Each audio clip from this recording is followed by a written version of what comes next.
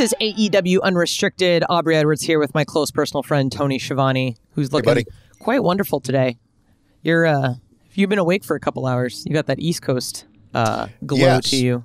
I've been awake for uh, many hours. Thank you for asking. I have two energy drinks in me right now, and I've Do still ignored my wife. purple monster? I've ignored my wife all morning, and I've moisturized my face, There so you go. I feel great. Man, this is uh it's the Tony Schiavone routine, everyone. Two monsters and some moisturizer on your face. Anyway, uh we're here today to talk to a wonderful guest before we get started. AEW Casino, totally a sponsor of AEW Unrestricted. Go to the App Store and the Google Play Store, download it now. Uh steal all of Alex's Marvez poker chips because he's playing the game constantly. Yeah. Now let's get to the guest, which is uh, my wonderful friend, uh, Tay Conti. Hello, girl. How are you? Hello. Thank you for having me. I'm so happy. A little bit nervous as always when I need to talk because of my English, but you already know. Your English is great, and I've told you time and time again, like, please stop apologizing. You're awesome. like, don't worry about it. Thanks. All right, so we're gonna start a little differently, just because I know like your background is very different than everyone else's, but you have a black belt in judo and a blue belt in Brazilian jiu-jitsu, and you participated in the trials for the 2016 Brazilian Olympic team. And I kind of want to know like how all of that happens. Like, how do you Oh. decide I'm going to try out for the Olympics? Oh, yeah. So it's like I started in gymnastics, to be honest. And then it was just for a week because that was not my thing. You know, I'm not flexible at all. It was like, uh uh-uh, uh, do not like that. Get me out of here, please. So they had judo like kind of in front of like in the same building. And I was like, oh, I want to try this. And that was really like little. I was like seven years old. And of course, my mom didn't agree with it. But then my stepdaddy was like, yup, let's try it. So my stepdaddy was like, uh, bring me to judo, like, and my mom didn't know. And I felt in love. And then at some point, my mom was like, you know what? That's her thing, I guess, you know. And then I started judo. And then when that was like, if I'm not wrong, that was like 2011, I got like my first um, really important competition to be part of the Brazilian team. And then that's when I started really traveling around the world. Like I went to Germany and Portugal to represent Brazil, and I was super young. And then I was like, well, I guess I'm an athlete. That's my life. That's what I want to do. So that's how everything started. And then judo was pretty much like my life, everything. That was my job, my dream. And then I was working hard for years and years. And then 2016, that was like the uh, Olympic Games in Brazil, in Rio, where I, where I'm from. And I was like, damn it, you know. And I was working hard, but I knew that was something like super hard to get into it. And that was like because of the age and ranking and everything, I knew that was not my time yet. I was kind of focused for like the next one four years after 2016 but then i was getting good and then opportunity were coming. I was winning matches and winning competitions. And then when the the list for the tryout came because it's like a big thing everybody's like waiting for the list you know to see who is in who is not. My name showed up because my rank my ranking was really good. And i was like oh my damn god you know I didn't expect it. I was working hard, but I didn't expect it. And then I was like, okay, I guess I guess I have an opportunity and I'm gonna go for it. Uh, but then I lost. And that was like devastating for me, right? Actually, the girl that won the uh, she's from Rio too. That's the funniest part. And then she won uh, to represent Brazil and she was um Olympic champ. So, you know, I don't feel that bad. yeah, if you're going to lose to anybody, lose to the person that's the right? Olympic champion. So, Yes. So that was super nice. And then that's when like the opportunity to uh to come to pro wrestling showed up in my life. I was like, You may. Uh, I'm, I'm sorry, Tay. Uh, by the way, Mhm. we're talking to Tay Conti. You made your AEW debut in 2020 in the Women's Tag Team Cup tournament. How did you become part of, that tournament, and who contacted you about coming out? Oh, okay. So, uh, I was, you know, like not working anymore. And I was like, do I want to be in wrestling? So I was kind of like questioning myself and was like, no, I love wrestling. That's what I want. I'm gonna like keep trying. And then um Luchasaurus was the one that contacted me. And then he tagged uh Kenny in one of my videos in tw- uh, on my Twitter. Mhm. And then he sent me a message like, hey, I hope everything's gonna, you know, everything's good and blah blah blah. And mind you, I didn't know Luchasaurus. We never talked before. And and then I guess uh Kenny asked for my number and Luchasaurus like, hey, Kenny saw your video, he wants your number. So he contacted me uh to go to to this uh to be honest, that was like a different match that they had in mind that Mhm. didn't work out. And then after that, it was like, oh, okay, I'm gonna go there and see like, you know, how I like it and everything to see if they like me. And then when I got there for the first time, I was super nervous because I didn't know like anyone. And Brandi, Cody, Tony, everyone was so like friendly. That I was like, oh my god, I really like here. It's so different. Like the first five minutes that I got there, I was like, holy crap, it's totally different from, you know, my previous job. So I really liked it. And then I stayed there for the whole day. And then the end of the day, Tony and Brandi and Cody talked to me about the opportunity to go for the tag tournament. And I was like, yep, let's do it. I talk So- a lot, sorry. no, it's fine. It's, it's a it's a podcast about you. It's, it makes it a lot easier on us. Yeah. Uh, so one of the things I particularly love about the tournament, and I think everyone has kind of seen this, uh, both on TV and social media, is it was a tag tournament, and you got paired with Anna Jay, who now you two are basically like inseparable. Um, how did like did you have any say in how who you got tied with, and just like how did that all work out? Well, I had no idea. And then I was sitting on the stands by myself, just looking around. And then Anna popped up like next to me, like, "Oh my god, like you're you're beautiful. I really like your job." And then we start talking. I was like, "Yeah, you too," you know. And then that's how it started. Like we start talking about life, work, and everything. And she stayed with me for the whole day till like super late, midnight or whatever. And that's when I had the um, the meeting, the conversation with Tony and Brandon and everyone. And then they told me like, oh, you're gonna, you know, you're gonna be a team with Anna Jay. I'm like, wait, what? It's like, yes. And I'm like, hell yeah. So I text her because we changed numbers, like, oh my God, guess what? We're gonna be a team. And then we start come up with ideas and everything. So that's that was supernatural. We didn't know. It just happened.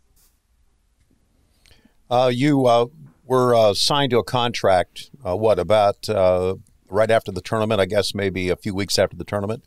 Uh, and what did that mean to be signed to a contract for AEW? oh my god i was really i was not expecting like that was super fast and i was Right. like yes i will you know i will keep coming and let's see if we like each other because that was the conversation because since i was not real happy in my previous job i was like you know i don't know if i want to sign a contract for a longer year like long term contract to be unhappy again so we kind of feel each other and then when they offered me i was like oh you know what i'm pretty sure that i'm happy here so I'm gonna sign it. And then I remember my first match after they announced that I got signed. I was so emotional. Let me tell you, I cry a lot.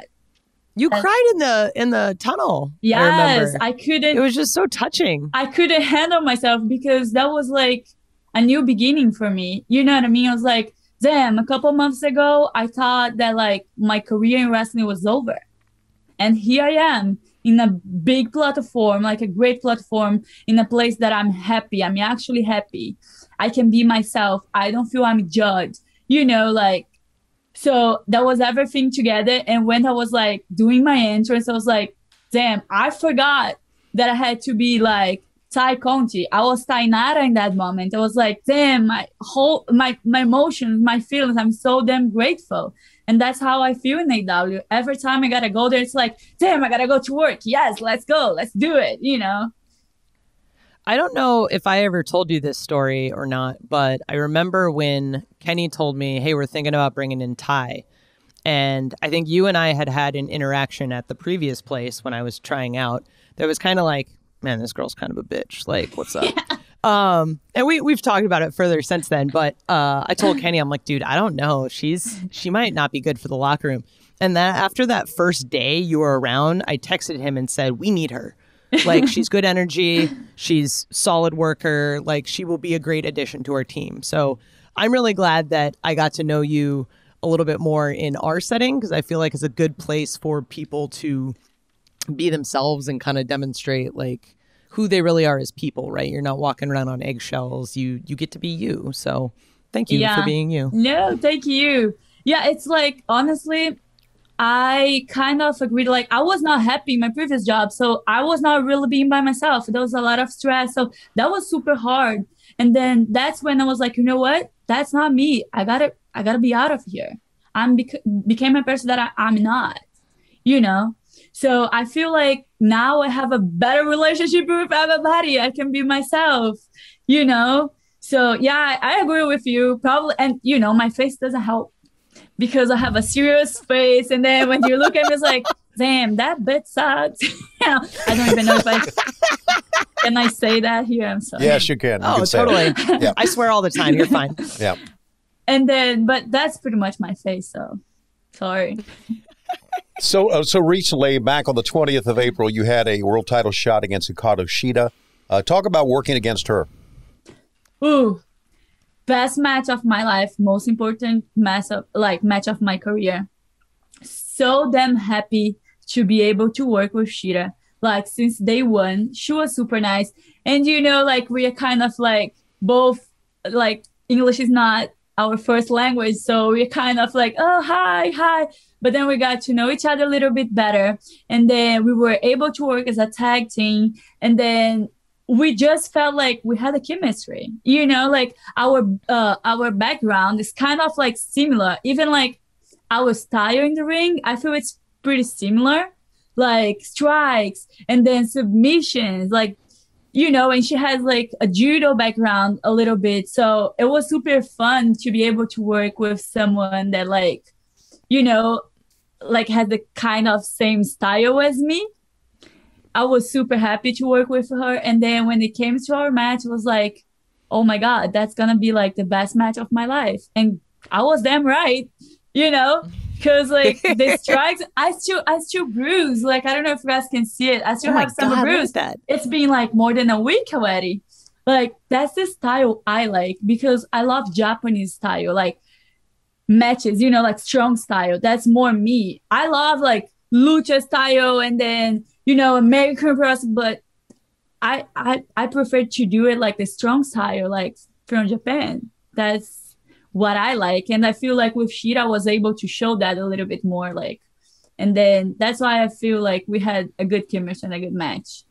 uh, for people that may not have noticed, uh, I got to ref that match, and right as soon as it was done, and Shida, I think it, it the the knee or the spinning kick thing, and then did the like crawled over pinned. And I think the first thing I did was roll up to you, and I'm like, I am so fucking proud of you right now. And then I went and got the title and gave it to Shida. It was great. Yeah, um, yes. yeah, it's work to it's really really nice to work with you because you're always motivating us in the ring. So I do appreciate you. I'm always telling you like, hey, you got this. This is fucking great. Just breathe, breathe. You got this, girl. yes, You're killing yes. it. All right, this is AEW Unrestricted. Aubrey and Tony here with the wonderful Tay Conti.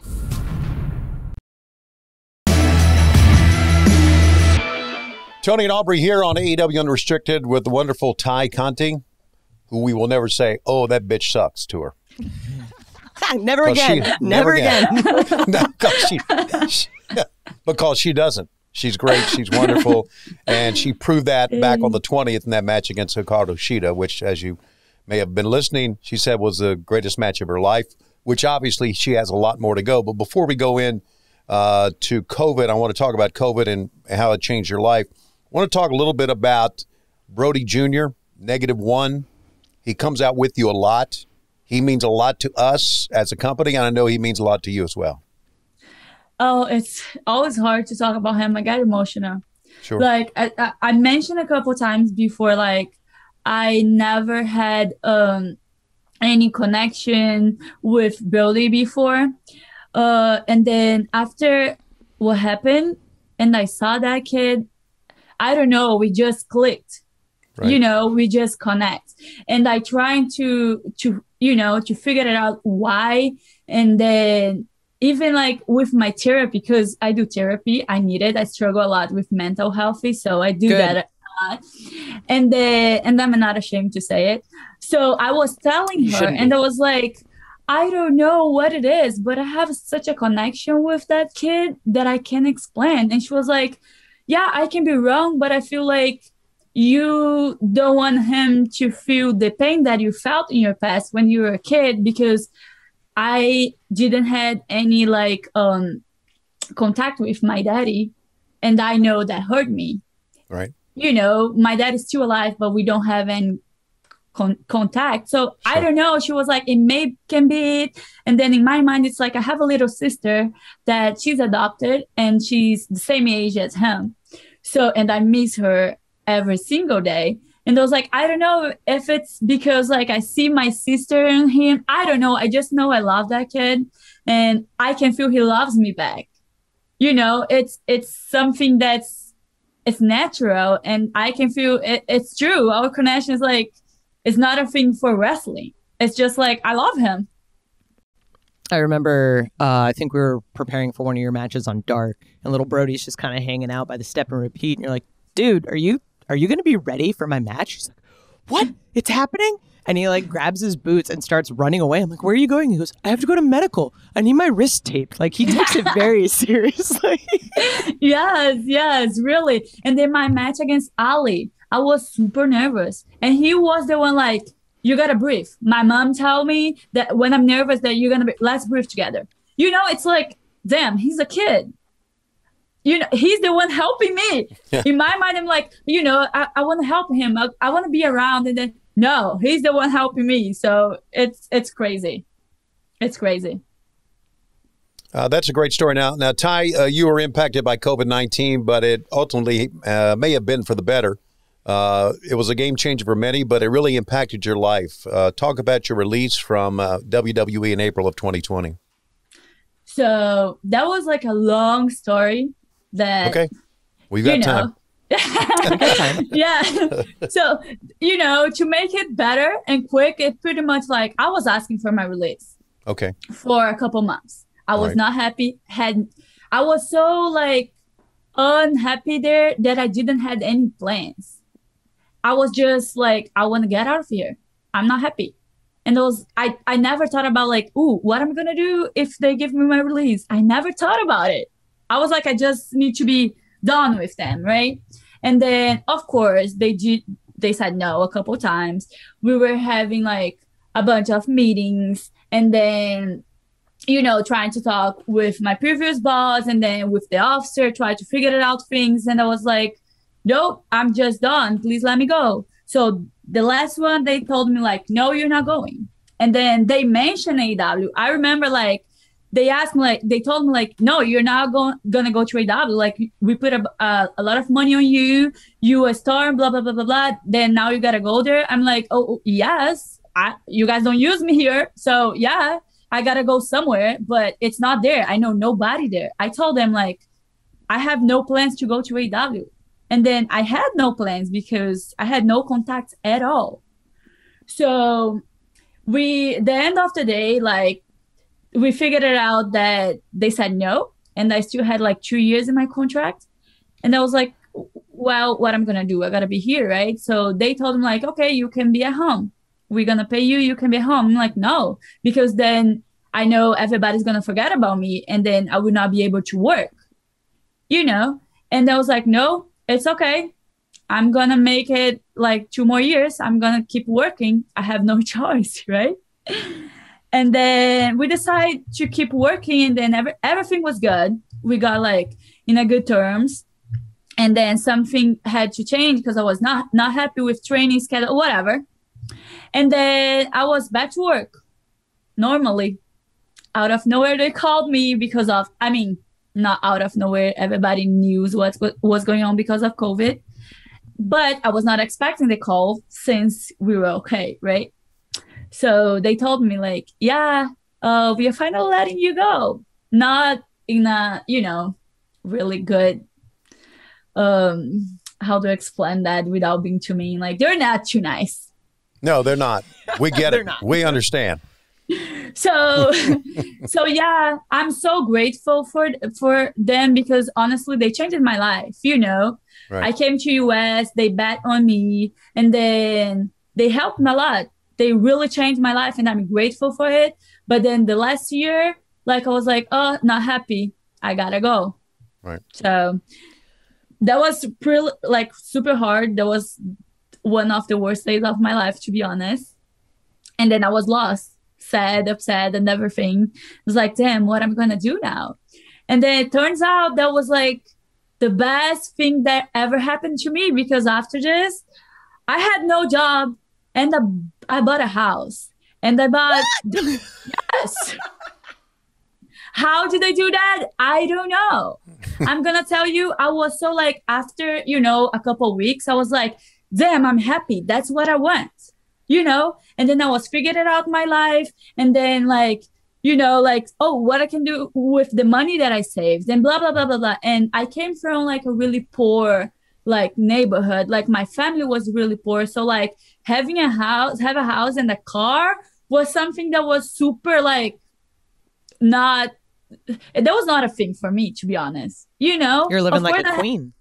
yeah i had that dreams but that was so far from me that when i did it i was like damn i have no job. I'm happy. I just bought a house and i bought the car that i always wanted. It was like what a good life you know? And then after this i got my contract and then i was like oh my god i, I have nothing to complain. I live a good a good life you know? I'm just so grateful. It's uh it's always pretty awesome. I love just hearing these stories of people who don't have something that makes them happy every day and then joining our family and immediately it's just like, "Oh, this is the greatest." Like, why should you even complain? It's one of those like when we're doing AEW Dark until 2 a.m. and people are like, "Oh, this is annoying." I'm like, "Dude, like this is fun." Like, you getting we work paid two to be days. here, We get two days out of like every like two weeks. right we get to be on TV. How many people are actually wrestling in the world? Like, yeah this is great. yeah um, you you pretty much mentioned- like you get paid to have fun Right. Pretty much, you get to hang out with nine-year-olds who uh, who boss you around with a kendo stick. It's awesome. So you had mentioned in our last segment that you were doing the the judo and trying out for the Olympics and all of these things, and then you had just gotten contacted by WWE. Like, was there any sort of uh like what was the transition like? Was it just a okay, I'm going to be a wrestler now, or was wrestling always a part of your life? are you ready for this Yeah. Yes, we are. here it is i had no idea. I never ever watched wrestling before. Oh. never. Had no idea what wrestling was before. Wrestling was not it's not like a big thing in brazil like here us so never heard about it. Not gonna lie. Yes. So when they contact me that was like uh true a friend right? And then he was like hey this opportunity blah blah blah. I'm like hell no i'm not getting out of my country to go to a different country that do something that i don't even know what it is it may be prostitution i'm not kidding that Good was girl. always be skeptical. that was my mind. I'm like, hell no, it's traffic. I'm not hell no, I'm not getting out of my my country. No way. No way I'm doing this. And then he was like, no, let's, you know, let's look in internet or whatever. And I was like, okay, let's let's see what it is. And then I was looking at it. I was like, oh, it's it looks fun, you know. But my view, I had no idea. And then I was like, oh, is that true? Like, is that is that fake? You know, I had no clue. And then um, I contact uh, not a friend because uh, Adrian Jaoude he was working for WWE at that time, and I knew him from competitions because he was an athlete before. And I was like, well, I kind of know him. He's not gonna lie to me. His family is well respected in Brazil. I'm gonna contact him and see like what it is. And he was like, hey, it's a great opportunity and blah blah blah. You should try, you know. And I was like, okay, let's try it. And then I, I accepted to come for a tryout. And then in my first day of my tryout, they're like, hey, you're signed. I'm like, well, we still have two days. It's like, yeah, you're gonna do it, but we, you're signed. I'm like, okay. in my mind when I got in the tryout, I was like, it's a competition. I saw a bunch of like girls there. was like, it's a competition. I don't know what I'm gonna win, but I'm gonna win. That was my mindset back then. I was like, I'm gonna win. I just want to be the best around here because it's a competition. And then I guess it worked. but yeah, I never never watched wrestling before. Wow, that's uh, that that that is a great story. It really is because there's a lot in our business who grew up watching it, loving it, but you seem to have taken to it very, very well without even knowing what it was. So that's a great story. I want to ask you. You know, you mentioned we we also agreed that there are a lot of we think, maybe wrong, that at WWE, I say there's a lot of people that are not nice there. But if you look back on your experience there, and I know you were in the Mae uh, Young Classic, you worked for NXT. I think you were. They had you at WrestleMania at one time. Mm-hmm. Uh, wh- what do you think you learned from all that? What what did what did you learn from your time there? If you learned anything, honestly, I learned a lot.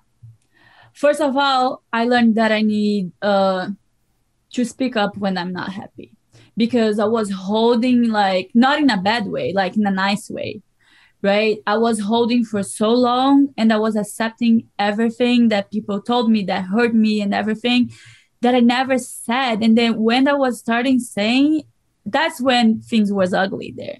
Because when you speak up there, that's when like people are like, oh, why are you doing this? You should be quiet, you know? So, and then I learned a lot about the business, like how to be respectful. Like a lot of people there was like really important to me, like to help me grow a lot.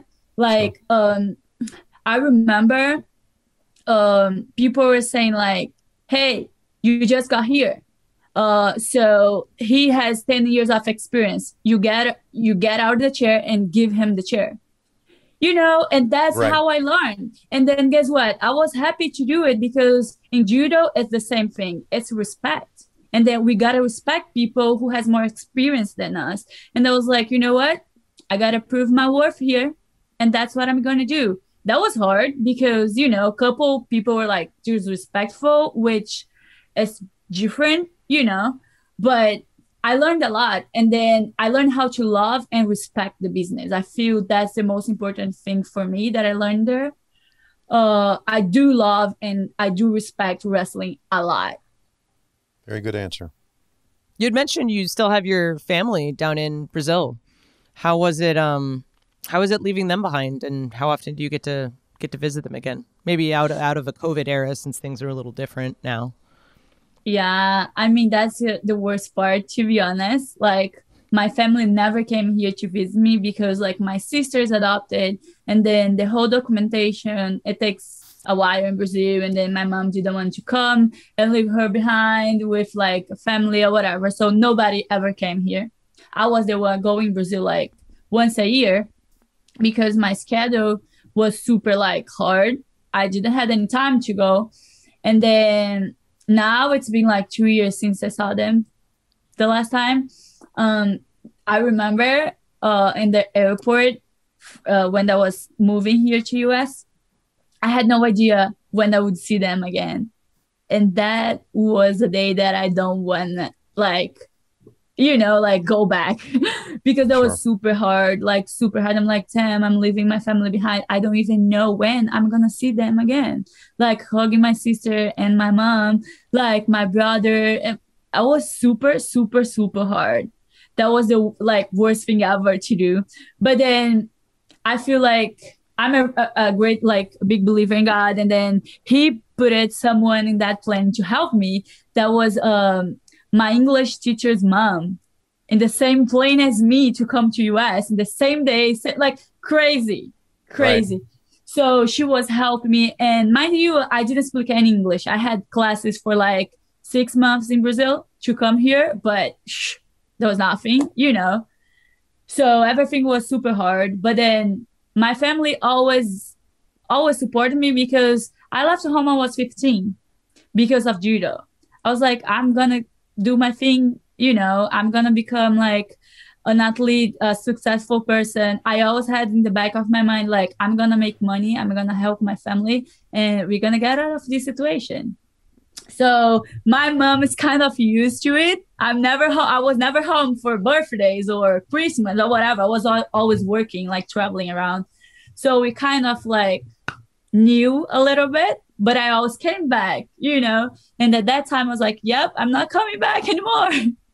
that was hard, but they understood. And then every time, like I have uh, something like you know, good going on. They're super excited and bad. They're there for me. So like, I remember you mentioned WrestleMania when I knew that I was like about you being the, you know, like in WrestleMania, I freaked out. And I was like, Mom, you don't, I don't even know how to explain what WrestleMania is for you. Right. So because she doesn't, she doesn't get it. She doesn't understand. Right. And then they were just like, "Oh, okay. I guess I gotta be happy for you." I'm like, "Yes, please," and I'm crying on the phone. so yeah, yeah, it, that was like bad but good. You know, I'm able to help them. So yeah, I'm That's grateful. great. Yeah, that's great. We're talking with Tay Conti. Coming up next, we got fan questions from Twitter. Aw, yeah.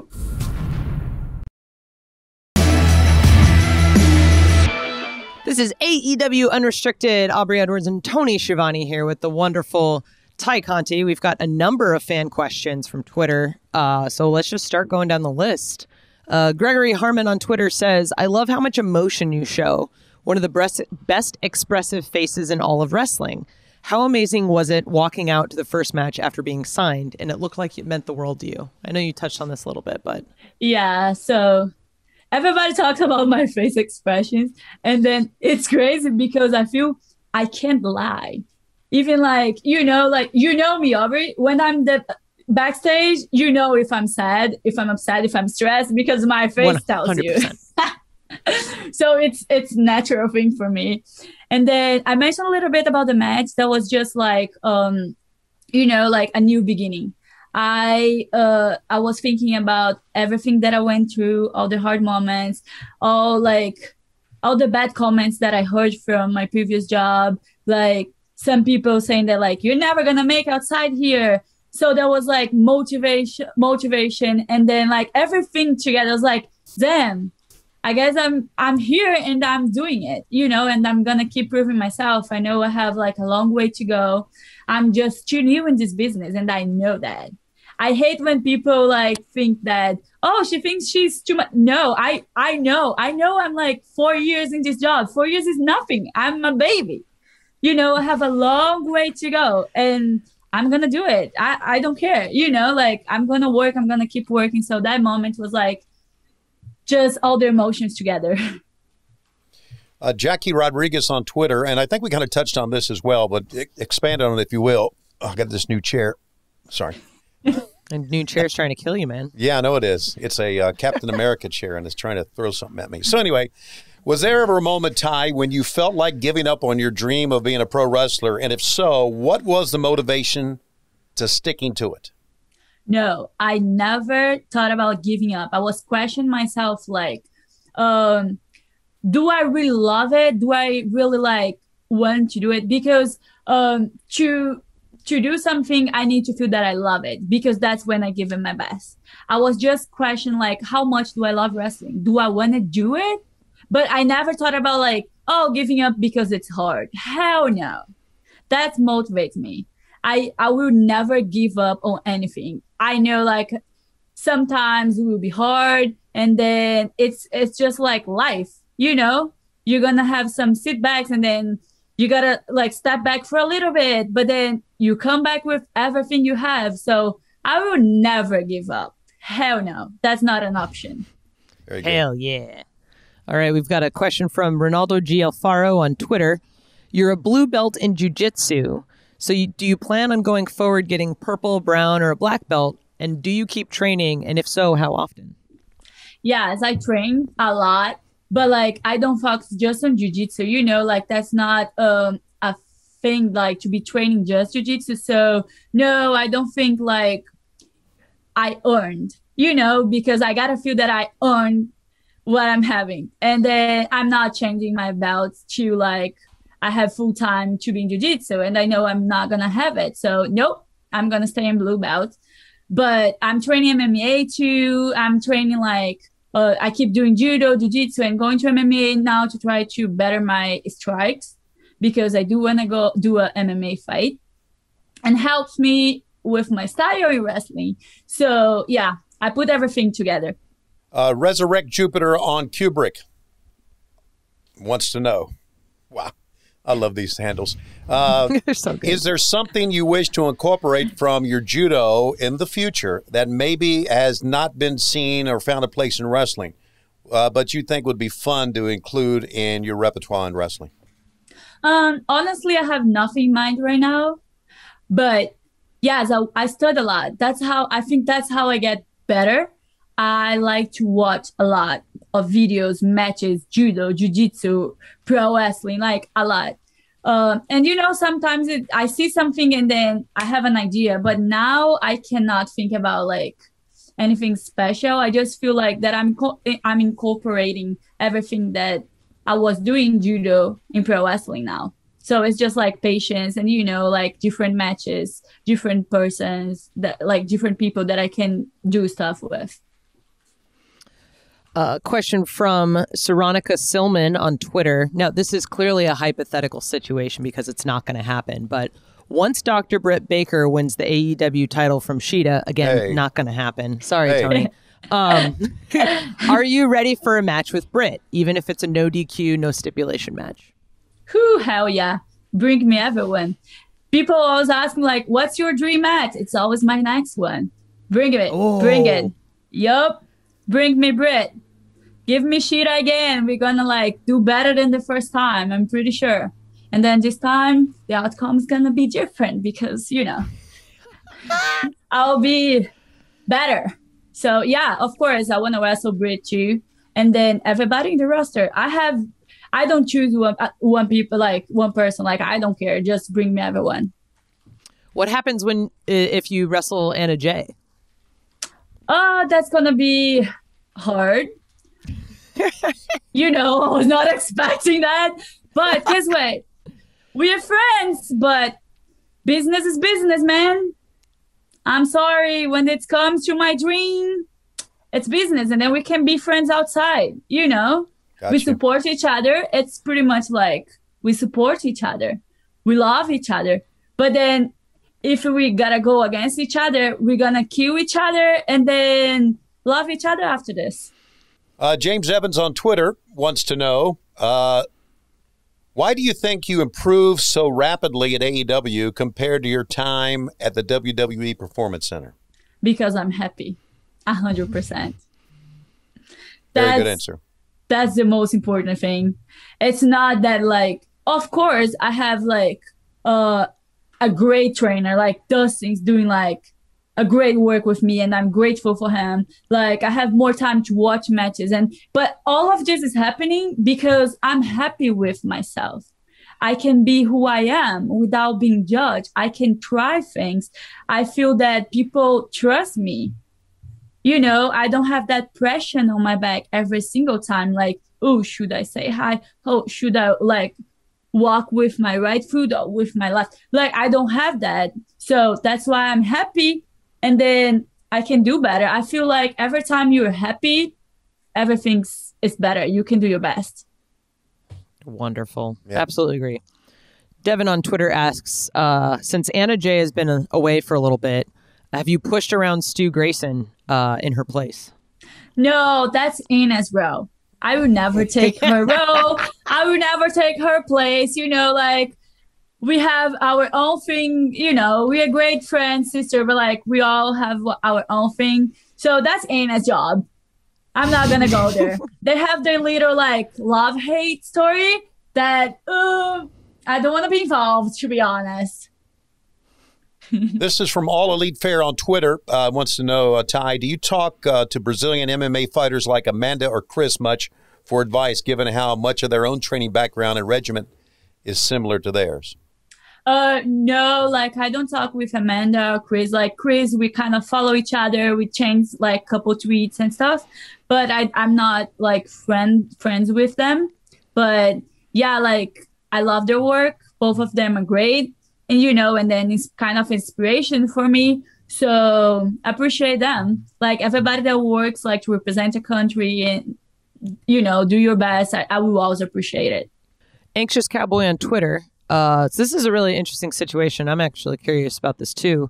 So you're you're best friends with Anna Jay, and now you sort of have the whole Dark Order has your back, even though you're not a member of the Dark Order. So what is that like to have a faction that is that big and has that much history supporting you?